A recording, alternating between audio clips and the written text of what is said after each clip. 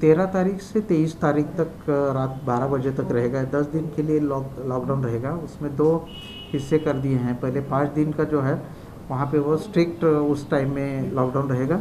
उसके बाद के पाँच दिन है उसमें कुछ समय ऐसा दिया जाएगा जब इसेंशियल सर्विसेज़ चालू रहेंगी। स्ट्रिक्ट लॉकडाउन ये मतलब कौन कौन सी चीज़ें इसमें अलाउड रहेगी और उसके बाद क्या उसके लिए कोई टाइमिंग भी दिया गया? पहले पाँच दिन में हम लोग इसेंशियल की दुकानें भी नहीं चलाने देंगे।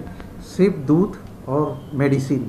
ये दो ही फैसिलिटी चालू रहेगी और हॉस्पिटल चालू रहेंगे और उसके बाद के पाँच दिन के लिए क्या है? उसके बाद के पाँच दिन में हम लोग 10 बजे से 4 बजे तक इसेंशियल सर्विसेज़ की दुकानों को खोलने की अनुमति दे देंगे। क्यों ये लॉकडाउन का डिसीज़न फिर से लेना पड़ा? क्या रीज़न था ये हम लोग थोड़ा सर्च की तरफ़ जा रहे हैं और नंबर इतना बढ़ रहा है।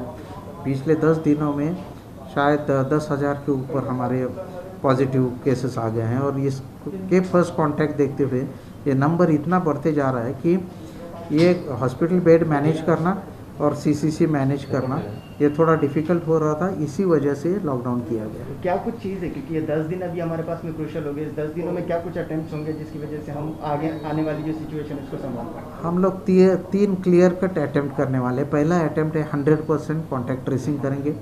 जिससे भी कॉन्टैक्ट हुआ है उस सबको टेस्ट करना ये हमारा दूसरा मकसद है।